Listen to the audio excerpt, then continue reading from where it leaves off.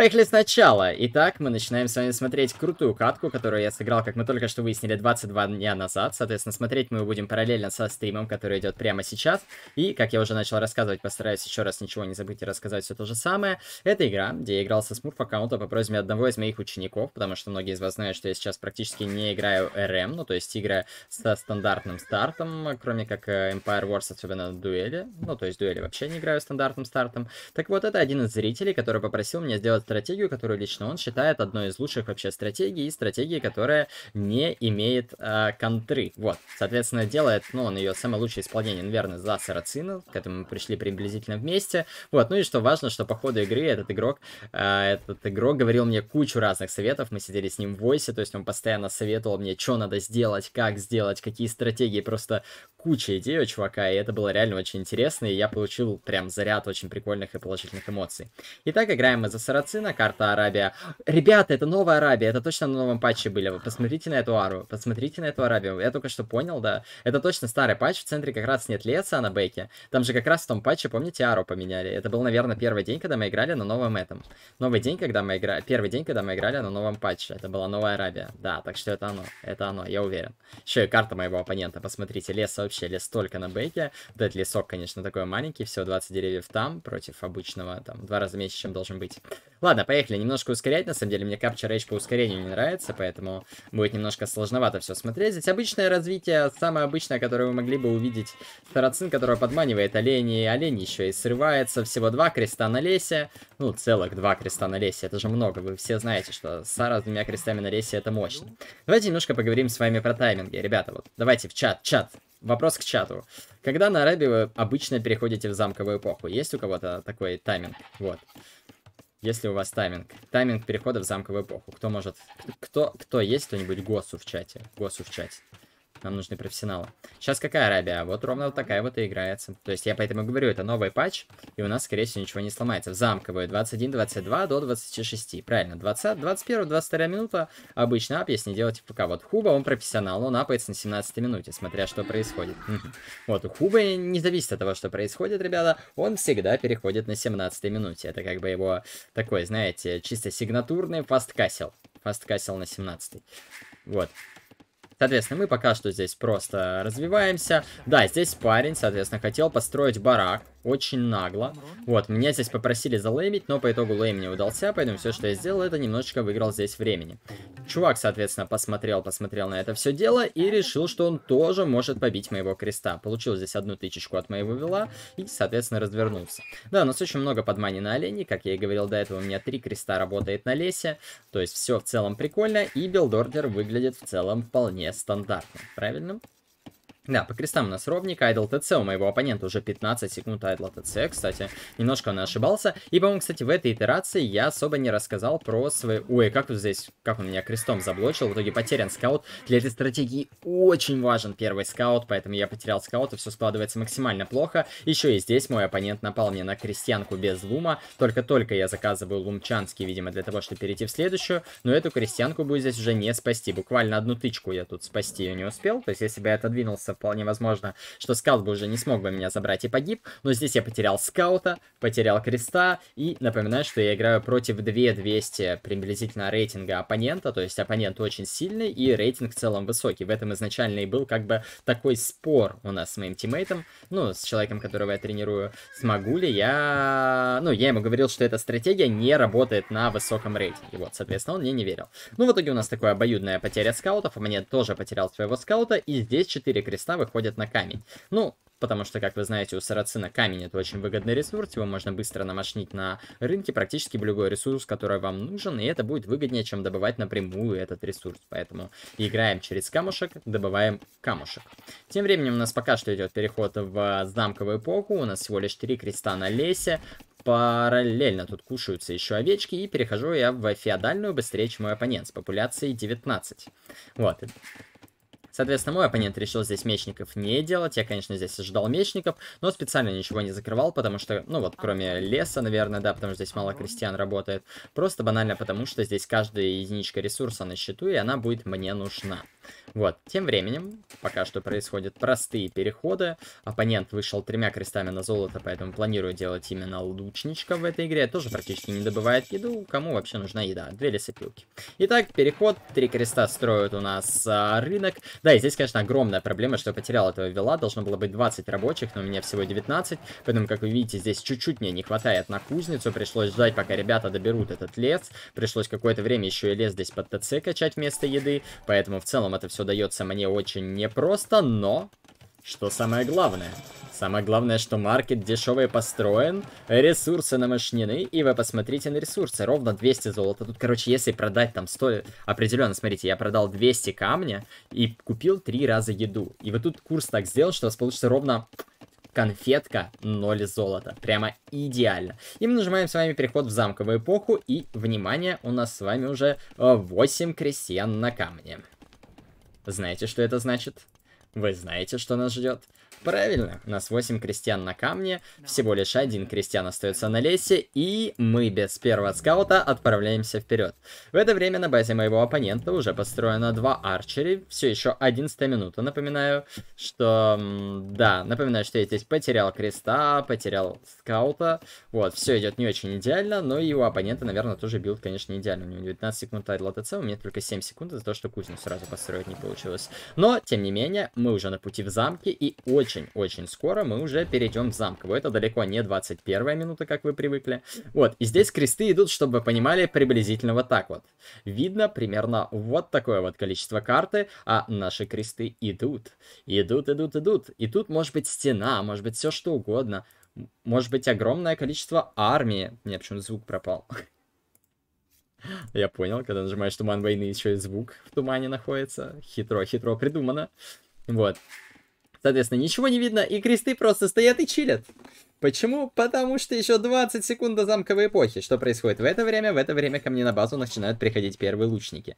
Камни, как вы видите, 635. Крестьян работает, там, не знаю, всего лишь в сумме 11 крестьян работает. Вот мы в замковой эпохе. И, недолго думая, я намечаю тут хороший замок. Давайте посмотрим на реакцию от моего оппонента. Итак, реакции все еще нет. Возможно, он все еще микрит здесь лучниками на форварде. Первый крест уже потерян.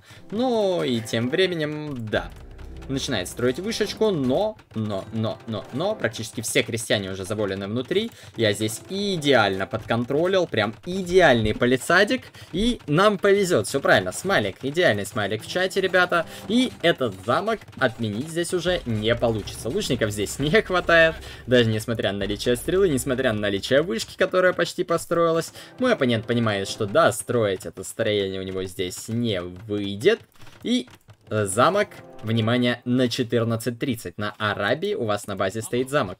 Здесь на базе у меня тем временем очень хорошая экономика, очень хорошо крестьяне добывают необходимые мне ресурсы. Мне очень повезло, что у меня прямо сейчас есть 166 леса. Еще я построил одну фермочку, поэтому леса стало соточка. А, ну да, я тут под ТЦ его добываю. Поэтому здесь быстренько крестьяне выходят с замка и добываем что? Правильно, начинаем добывать самый важный ресурс в этой игре. Можете смотреть, как я добываю ресурсы, продано 100 камня. Получено золото, куплено за это, даже не понял, что, наверное, лес только что докупил, да, я там сделал этих, докупил лес. В это время, пока мой оппонент занимается здесь какой-то фигней, у нас крестьяне выходят бить его лучников. Это что такое? Он думает, по одному лучнику расставил и все? Сильный, что ли? Не сможет меня ни от чего отбить? 20 крестьян, поверьте мне, более чем достаточно. 20 крестьян это очень хорошая, плотная, сильная экономика. Тем более, что они добывают сарацинский камень. А это вам не просто так. Итак, у нас все еще 20 крестьян. В целом, лучников контролят здесь мой оппонент прекрасно. Замечательно, здорово. Глупый вопрос, наверное, когда Винчи едет на Red Bull Вололо.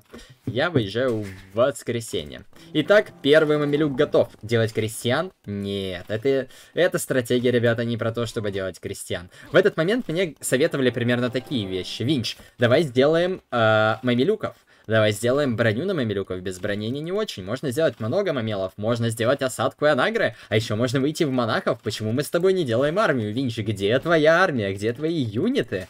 Вот. Мне было очень забавно. Может быть, я здесь немножко переврал. Было прям не то, что прям идеально в точности так. Но было очень близко к тому, что я только что вам описал. Итак, два мамилюка. Вперед, поехали. Три... Шесть тычек. Минус крест. Лучник. Тоже планирует здесь как-то отступить. Минус еще лучник. Минус еще один.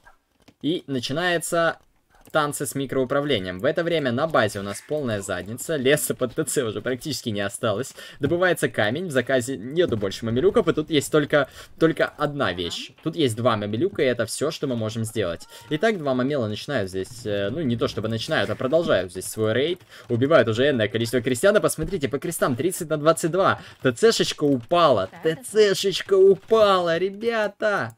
Здесь тем временем, пока это микрокресты выходят бить лучников, лучников я пони понимаю, понимаю, что у моего оппонента не так уж много лучников. Здесь кресты продолжают умирать, и популяция 28 на 21. ТЦ достроился, надо быстренько от него ливать, и, соответственно, да, удалось тут еще одного вела забрать. Здесь вышли первые скирмы. У скирма все те же апгрейды без брони, только на атаку, и здесь лучники потихонечку, потихонечку умирают. Я уже смог выйти на свой лес, на лесопилочку, отправился на лесопилочку, и здесь еще минус 2 скирма. Возможно, можно было пойти сюда, этих скирмачей тоже забрать, но я здесь нашел кое-что поинтереснее этого вела, и в целом ситуация становится уже интересной. Смотрите, мой оппонент не добывает еду, он покупает еду за золото.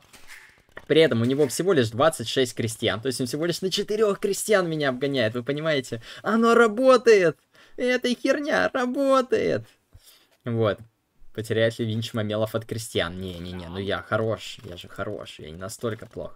Но важно, что у моего оппонента 9 военных юнитов против 3 от меня. И в целом у него уже есть а, арчери и какие-то апгрейды. Конечно, вот это золото я не нашел. Возможно, если бы я его бы увидел, было бы очень клево его там убить. И мой оппонент понимает, что ему тут пришлось немножечко лучниками перегруппироваться. Стоять вот так вокруг он больше не, у него не получается. Здесь я его прочитал, он идет на лес, а я уже как раз-таки снял крестьян с леса. И тем временем посмотрите на количество камня, которое у меня уже имеется имеется. Это 530 камней, у нас все еще 9 крестьян на камне. Преимущество добывать камень знаете в чем? Мангудев терять можно, мамелов нет. Принято, да, так и есть. Кирма разве контрят мамелов? Мамелов ничего не контрят, ребята. Это имба. Это имба. На самом деле, реально, при должных апгрейдах и о должном количестве мамелов очень сложно убить. Мне кажется, можно на YouTube залить. Так мы на ютубчик это и записываем. Надеюсь, запись идет? Да, запись идет. Только что проверил. Красота. Итак, здесь 6 крестьян тут. 3 лучника ходят вокруг моей базы. И тем временем я вышел на камень. Итого у нас 16 крестьян на камне. Тем временем фермочек уже становится больше. Посмотрите смотрите, по крестам 28 на 26. И здесь прямо сейчас крестьяне выходят, строят замок далеко. Вот тут мне говорили, что замок нужно было построить где-то вот здесь. Возможно, я реально мог это сделать. То есть тут были в основном скирмы. И если бы я пошел бы и поставил бы замок где-то бы вот, ну, допустим, допустим, даже банально вот сюда вот, может быть, тут можно было как-то вместить. Либо вот сюда, возможно, я мог бы это сделать. То есть, если бы я наметил бы замок там, было бы классно. Но по итогу сделать этого я не сумел. Строится замок, а мой оппонент только-только сейчас нажмет переход в следующую эпоху. Посмотрите на его экономику, у него 20 25 крестьян находится на золоте, по крайней мере, до того, как он только что вышел на фермы. Поэтому все, что он делает, добывал, по сути, золото. Итак, второй замок ставится на второй городской центр. Тем временем по крестьянам. Я всего лишь на двух крестьян отстаю, но при этом я уже перешел в замковую. Мой оппонент только-только нажмет в замке. Да, конечно, можно было, здесь надо было не в крестьян. Да, Мамела тем временем сбегали на базу, убили здесь всех лучников, которые были. Поэтому армия 4 на 7. Да, реально, я так смотрю, можно было здесь попробовать агрессивный замок построить. Все, конечно, зависит от микроуправления. Смог ли я, а, смог ли бы я четырьмя Мамелами здесь убить вот эту армию скирмов. Но если бы я отбил вот этот вот, вот эту вот добычу еды, то я думаю, я бы однозначно бы тут мог бы выиграть игру. Тем временем у меня здесь выходят мамилюки, начинают ломать вражеский городской центр. Он начинает потихоньку его вычинивать, и вот здесь тоже такой момент, что у меня в заказе кресты, а если бы я прямо сейчас бы заказывал бы петарда нон-стоп из двух замков, я бы мог взорвать таун-центр до его перехода. Прикиньте, как это было бы мощно. Да, здесь я пытаюсь прям идеально все сделать, мамелами даже выхожу, лишние тычки даю. Очевидно, что мой оппонент прямо сейчас переходит в следующую, но из-за того, что он его вычинивает, все-таки перейти здесь он, скорее всего, успеет. Конечно, петарда тогда лучше было вообще не делать, но если бы я реально вместо хотя бы двух мамелов, которые я тут сделал, сделал бы еще 2-3 петарда, этот бы таун-центр точно бы упал, и я точно бы смог бы не дать перейти своему оппоненту в следующую эпоху. Ну, а дальше здесь уже можно, можно выдумывать, придумывать и делать разные прикольные штуки. Да, но тем временем все равно здесь большим запасом переходит, э, с большим запасом переходит он в замковую. И это, конечно, расстройство. Это было такое расстройство. Но при этом у меня плюс 2 вела. Вот. Работают они, конечно, не идеально. По экономическим апгрейдам моего врага есть топорик. Он нажал апгрейд на, э, кстати, на лучников. Понимает он, что лучники здесь очень хорошие варианты. У него в целом пачка-то неплохая есть. Правда, где, пока непонятно. На базе, да, где-то находится. А, многие сидят, да, у него в целом 12 рейндж юнитов. Ну, а у меня в это время уже 8 мамелов. Да, вот здесь немножко я зафорсил армию мамелов. Может быть, это было лишнее. То есть можно было прямо сейчас там даже банально какую-то экономику вложиться. Итак, попытка здесь как-то подраться, но пока что она не увенчается здесь успехом. Очень хорошо здесь контроль. Очень маленькая все-таки ранжа атаки у Мамела всего лишь плюс, э, всего лишь 3.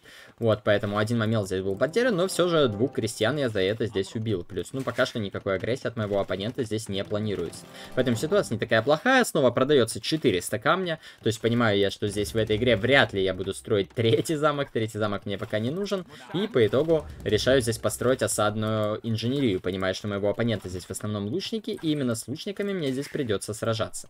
Да, сейчас будет очень слоупочный момент игры. Поэтому мы будем немножечко ускоряться. Мой оппонент тем временем идет ко мне на базу. Да, вот этим, конечно, Capture Rage мне не нравится. Очень сложно смотреть. Именно из-за того, что нет какого-то промежуточного ускорения. То есть, ну, совсем немножко. Да, ТЦХ здесь падает. Выезжает Анагар, который готов здесь уже крушить врага. Но тем временем а, он приходит ко мне на базу и начинает сбивать мне экономику здесь. То есть крестьяне вынуждены ходить. Но все-таки, насколько вы помните, знаете, экономика у меня довольно слабая, поэтому делать все сразу и одновременно у меня здесь, конечно, не получится. Да, атака здесь не увенчалась успехом. Потеряны еще два, потеряны еще два мамилюка. Здесь, возможно, анаграм нужно было поиграть агрессивнее, но интересно, что к этому моменту времени у меня плюс 7 крестьян, ну и, соответственно, больше счет. Еще и дополнительный городской центр здесь ставлю. Но проблема в том, что, как я уже говорил, у моего врага здесь сильнее экономика экономика, ой, сильнее армия. Вот, поэтому очень большие проблемы. Очень большие проблемы. Сломал я ему еще здесь домик, интересно. Ломаю домики, у него поэтому не хватает. 51, 50 на 51. И здесь очень удачно, что два золота заспавнились рядом. Вообще, он это золото почти съел. Еще и на это золото сейчас выйдет. Да, это как раз-таки мое третье, по-моему. Либо его третье. В общем, чье-то третье золото, потому что здесь 4 тайла находится. Но, тем временем, здесь лучники. Ничего сделать у меня не получается. Мамелов здесь маловато, поэтому забрать эту пачку лучников банально здесь, ну, нельзя. Апгрейдов на мамелов нет. Если бы они там были еще фуллап, то можно было. Так сделать это не получается. Ну, тем временем один наград здесь в заказе у вражеского сарацина. Едем дальше. Во всем виноваты кресты и плохая привычка ставить эко. Да, это правда. Если бы я здесь не делал бы крестьян, я бы, вероятно, выиграл. Тем временем я здесь отправился на поиски интересных, интересных вражеских ресурсов. Очень неудачно, мне кажется, здесь начал забегать мамилюками. Конечно, увидел здесь сразу лучников и отступил, испугался, хотя сюда надо было забежать и вот это вот дотекание здесь забрать. Это было бы очень хорошим мувом. Ну, а мой оппонент понимает, что на базе у меня совсем ничего нет и посылает все большее количество армии ко мне на базу. По крестам тем временем все еще больше у меня, причем на 7 крестьян и плюс есть дополнительный городской центр, но это пока мне тут не сильно помогает. Потому что экономика практически не работает, кресты сидят, занимаются какой-то фигней. Еще и здесь вышел строить городской центр, очень удачно вот этой пачкой он сюда пришел. Хотя, казалось бы, лучники здесь уже есть, и тащить еще одну пачку туда, ну, не имеет большого смысла. Да, здесь убил двух крестьян, но, кстати, можно было понять, что тут остался всего один тайл, и, скорее всего, здесь где-то больше крестьян, вот, поэтому, конечно, обидно, что я убил только этих крестьян, и, по-моему, не побегу искать дальше.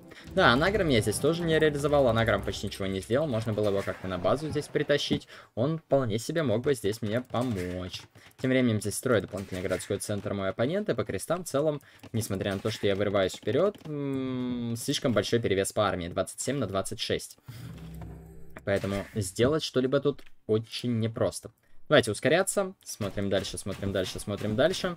Да, мамелы здесь не могут подойти, потому что драться с этой армией очень страшно и опасно, поэтому огромное количество крестьян сидит просто на базе банально и не работает. Ну и плюс Сарацин потихонечку начинает добывать более важные ресурсы, чем просто золото и камень, за который на самом деле уже практически ничего купить не получится. Здесь у меня еще есть кресты, которые пришли добывать камень. В итоге, да, хотел тут построить эту цену, передумал, построил просто шахту на камень. Камень очень важная штука, но здесь это арчери, этот камень видит. Да, тем временем здесь были еще потеряны мамелы, но что самое важное, что я дорвался и построил все-таки городской центр вот на этой важной центральной горочке, при этом построил его еще и на камушек, а это означает, что в ближайшее время у нас будет больше камня. Уже 21 крест на камне. Да, и здесь очень, конечно, плохо, что я так и не привел Анагар вот на эту горку, чтобы здесь защитить этих лучников. Ой, этих крестьян, которые здесь были, поэтому здесь большое количество крестьян я потерял.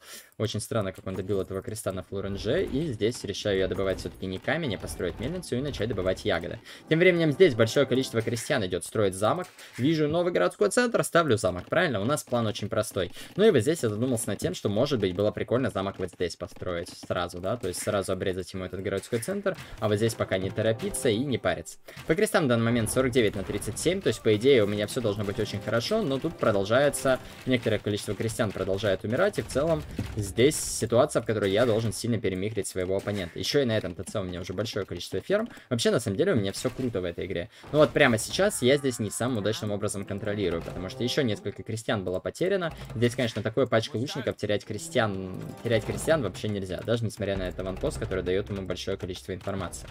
Да, здесь попыта пытается он еще как-то доехать под Анагар, просто уворачивается от выстрелов Анагров и параллельно стреляет по крестам. В целом идея хорошая, но сделать все равно это будет тяжело. Здесь большое количество крестьян он отправляет на то, чтобы просто отвлекать, видимо, мои Анагры, но здесь очень выгодно подбежали мамилюки, поэтому они этих крестьян здесь и убивают. Правда, конечно, потерять на крестах один Анагар, это тут ошибка большая, потому что теперь он все еще может стрелять не по вилам. Очень, короче, плохо я здесь законтролил, можно было все намного лучше сделать, но по итогу оппонент доказывает, что не такой уж и нубас, правильно? Вот, не такой уж и нубас. А, Поэтому, поэтому получается так, как получается. Здесь строю дополнительный городской центр. Правильно, что будем делать? Нам нужен срочно четвертый ТЦ. То экономика у нас слабоватая. Экономики не хватает. Проигрываю игру явно только из экономики. Но замок в итоге будет достроен. Большое количество крестьян у оппонента также не работает. Один крест, который сидит в городском центре. Остальные банально на этом стороне были потеряны. И здесь важный хороший ТЦ на золото он ставит. Вот это вот то, почему я говорил, что было бы классно привести сюда пораньше Нагар и вот эту горку здесь законтролить. Потому что гора огроменная, вот эта посередине, и контролировать ее, конечно, вот в этой точке было бы очень приятно, потому что оппонент бы не смог бы на нее забраться. Но, да, да, да, большое количество леса уже скопилось, новая сика. И здесь, что самое больное, он наконец-то нашел мою дополнительную базу. Я так хорошо здесь жил, так хорошо здесь развивался. А по итогу это выходит какая-то хрень, потому что привести туда снова Анагар, вот это вот проблема в том, что у меня армия-то в целом не слабее, да, то есть осадка очень здорово может помогать справляться с лучниками. Но самая большая проблема, что приводить вот этот Анагар по всей карте с одной этой осадки, это, блин, бесилово. То есть, ну, это очень сложно сделать. Вот, здесь важно, что у моего врага, по сути, всю игру могло не быть золота. То есть, если бы я проконтролил бы вот эту голду, плюс замок здесь у нее не было бы голды, он не смог бы делать своих юнитов. Ну, либо там надо было бы как-то еще что-то торговать. Поэтому важно было еще вот этот ТЦ да, здесь построить, а я все-таки дал это сделать. И вот здесь тот момент в игре, когда он начинает потихонечку раскручиваться и догонять меня. То есть, у меня пока есть топор и хомут, у врага есть только топор, и он приезжает здесь анагром и начинает долбить мою новую базу. Еще и добывать рец я не могу. То есть, у меня крестьян вроде бы больше, да, но 20 из них хайдерит, и банально здесь, ну, нечего ими делать, потому что даже убежать влево я не могу. Здесь стоят аванпосты, и при этом, кстати, вот это золото я, к сожалению, не видел. Вот, э, здесь стоят аванпосты, и при этом э, лучники. То есть у меня слабее армия, поэтому я могу добывать только под своими зданиями, только под своими городскими центрами и только под своими замками. Поэтому, конечно, хотелось бы мне все вот это вот, всех вот этих вот крестьян хотелось бы иметь где-то вот здесь вот справа. Вот, а я этого сделать не могу. А тем временем здесь два мамилюка идут снова рейдить золото. Понимаю я, что вполне вероятно он туда спустился, ну а он здесь продолжает блокировать у меня все, что есть здесь. Идеально здесь контролить, не дает мне, а, не дает мне крестами забрать его анагар, поэтому получается все не идеально. А, у меня здесь еще свой анагар, да, очень клево я крестами отзонил анагар. Может быть, обратили внимание, не мог он двинуться в другую сторону. Ну и, соответственно, ресурсов на починку своего анагра у меня здесь больше нет. Оп, выстрел по земле, не самый удачный. Но по итогу Анагар спасти здесь не удастся, наверное, потому что нет ресурсов, да? А, нет, Анагар даже спасен. Да, этот Анагар здесь очень важный. То есть он, по сути, здесь помогает мне сохранить эту базу. Но что важно, что я убиваю вот здесь крестьян на золоте. Ну, как крестьян, да? Они параллельно ломают шахту. Ну и где-то до крестьян здесь тоже достреливают и убивают. Да, в это время э, но Айсик здесь ошибается, поэтому здесь очень клевый страйк по лучникам. Всех лучников на ровном месте отдала. Вроде кажется, что опять я должен выйти вперед.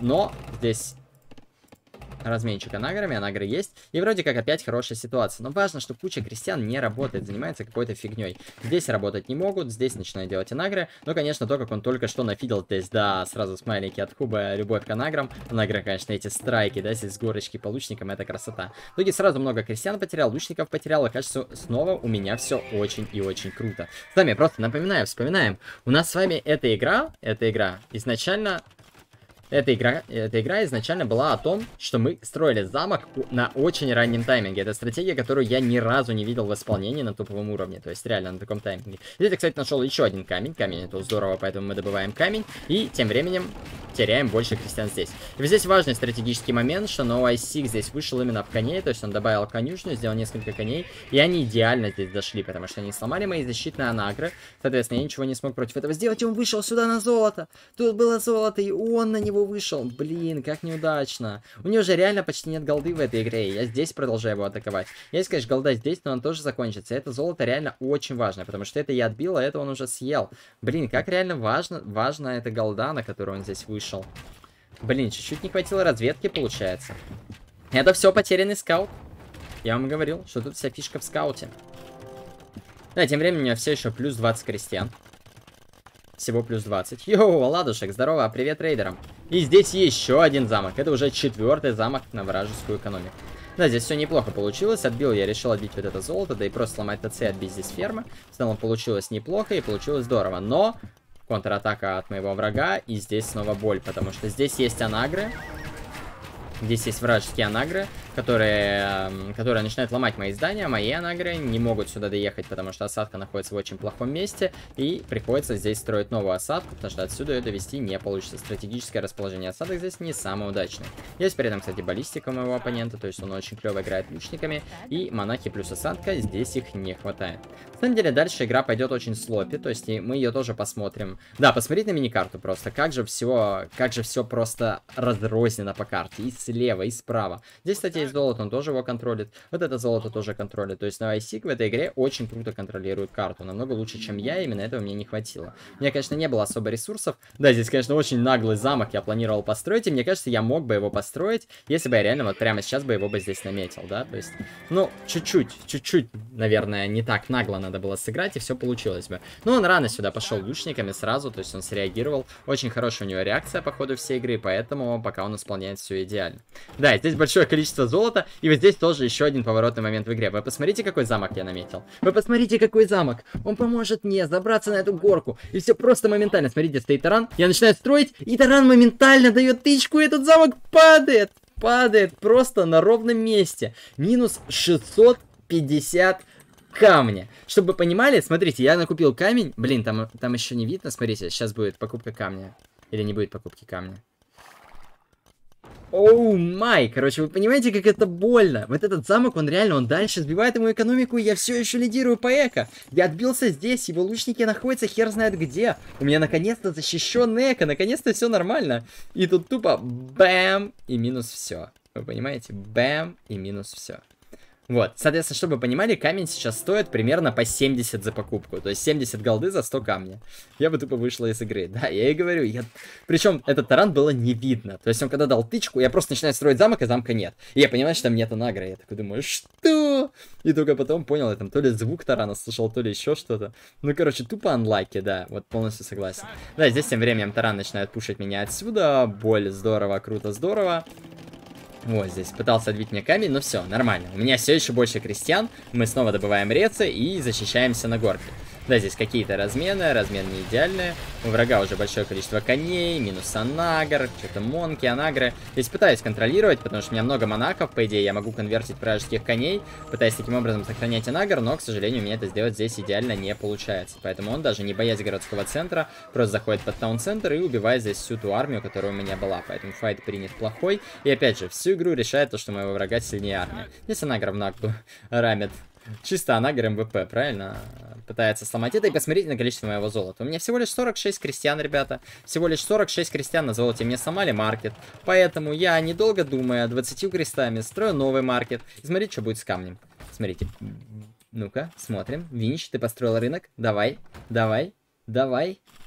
Вот, по 82, 86, 89. Правда, там мискликнул на еду. Купил камень. Я все равно построю этот замок. Вы поняли? У меня была только одна цель в этой игре. Это достроить этот замок. Кстати, очень хороший замок построил сам новый Сик лучники что-то ходят и так далее. И как вы думаете, что я буду делать еще? Правильно, мы строим один замок? Нет. Строить один замок это слишком просто, типа, ну, вы понимаете, да, мы как бы выманиваем его там и так далее. У него все внимание сейчас здесь, здесь, правда, он забрал Анагар. Я строю еще один замок, чтобы окружить его здесь замок. И вот этот замок, мне кажется, не самый классный. Вот тут как раз надо было пойти замок куда-то вот сюда вот строить, наверное. Либо вот на эту горку. Строим сразу два замка одновременно, вы поняли? У меня еще есть камень на еще один замок. Вот, поэтому у нас тут план это грандиозный. Этот замок достраивается, все классно, здорово. Можно вернуться к добыче золота. Вот, мы с вами молодцы. Замок стоит. Вот, двигаемся дальше. По крестам, наконец-то, оппонент вышел вперед. Блин, как вот это золото его тут игру спасает. Реально. Очень сильное золото, прям очень. Неприятно, конечно. Да, при этом он еще остальное золото тоже контролирует. Соответственно, здесь, и смотрите, здесь следующий план. Вы думаете, я на этом остановился бы? Нет. Можно продавать лес. Кстати, человек накупил кучу еды. Можно продавать лес, золото и можно купить больше камня. У меня всего 4 креста на камне, я покупаю кучу камней, и у меня снова 500 камня. Здесь я иду строить замок, но Новайсик уже знает, чем пахнет, и он сам первым намечает здесь замок. Но... Но... Когда мы знаем, что у него здесь много крестьян, это значит, что освободилась эта горка. А если освободилась эта горка, это значит, что ее нужно забрать замком. Поэтому замок строится на горке. У нас новая позиция. Новая позиция захвачена. Тем временем мы, конечно, теряем этот просто титанически важный городской центр на горке. Здесь небольшой страйк, конечно, не идеально контролится. Но у меня закончился редемпшн, а это значит, что я могу вербовать анагры, и мы едем вербовать анагры! Да, только один нагр успел он удалить. Это нагр он удалил, скорее всего, чтобы забрать мой нагр. И по итогу новой сика все, ну, так. Как-то так. Да, еды ноль. У нового сика ноль крестьян на еде. Я сбил ему последние фермы. Винч, да, всем здрасте. Сколько строим замков, я не знаю. Тут уже стоит раз, два, три, четыре, пять... 6, 7 замков уже построено, вот. Ну, соответственно, городской центр на дополнительном золоте, как я говорил, еще и на моем золоте, то есть у человека просто очень хороший контроль карты. Итак, едем дальше, надо потихонечку ускоряться, потому что и видео затягивается, игра затягивается, уже есть дела. То есть по итогу начинаются просто фермы. Фермы, монахи, лучники разбирают моих разбирают моих монахов, все убивают, все круто, здорово и так далее. Здесь начинают копиться петарды. Я понимаю, что петарды это the way to go here. Делаю петарду, строю городской центр на его фермы. И вы прикиньте, он, по-моему, это законтролит. Смотрите, он удалил фермы. То есть он реально заметил, что я строю здесь городской центр и удалил фермы. Я был реально в шоке. Ну, то есть, реально, вот такой ситуации законтролить, это очень круто. У МГ реально 0 ТЦ, да, у меня какое-то время было 0 городских центров. Вот, поэтому 0 ТЦ 7 замков, да, вот я их только-только достроил. И в итоге нажимаю переход позже, чем мой оппонент, что, конечно, в этой ситуации очень плохо. Надо было не делать эти петарды, если бы я их не делал, я мог бы здесь раньше бы нажать. У меня была бы посильнее экономика, может быть, здесь еще бы что-то можно было бы придумать, потому что я бы раньше сделал трибушеты. Но на самом деле к этому моменту игра уже сыграна. Слишком большой перевес у моего оппонента, у него потихонечку начинают заказ на аж 4 трибушета.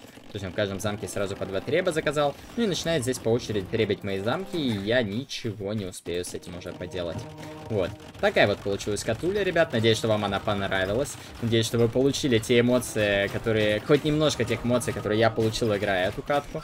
Вот, да, здесь, конечно, еще монахи плюс 3 без уникального апгрейда что-то делают. Но, к сожалению, выиграть здесь уже не получится. Конечно, много лучников я здесь еще сумел поубивать, но катка потихоньку здесь будет закончена, потому что никак справиться с вражеской армией я не смогу. Ну, а требушеты уже слишком хороши против зданий, никакие здания тут против армии мне уже не помогут. Да, катка, по-моему, просто огнище, поэтому кто будет смотреть на ютубе, с вас обязательно, ребята, лайки, обязательно подписки. Вот, надеюсь, что несмотря на то, что давно не было видео, вам все равно Uh, вы все равно про меня вспомните, зайдете, посмотрите этот видос и будете так же довольны, как и я, тем, что я наконец-то добрался до ютуба, хоть и на стрим. Ну, ну давайте долистаем уже эту катку, посмотрим, как мне здесь добьют. Здесь же и мамилюки добавлены, и даже ап на гусара. Понимаю, что фуловая экономика у моего оппонента, но да, да, пытался я здесь химию сделать, по-моему, да? У меня заказана химия, да, вон первая пушка вышла, забрал кое-как три бушета, но он даже банально под замок уже подходит и все убивает. Спасибо всем большое, ребят, за просмотр этого видоса. Статистику давайте быстро пролистаю. Соответственно, кто захочет, тот посмотрит и изучит. А ПМК не будет.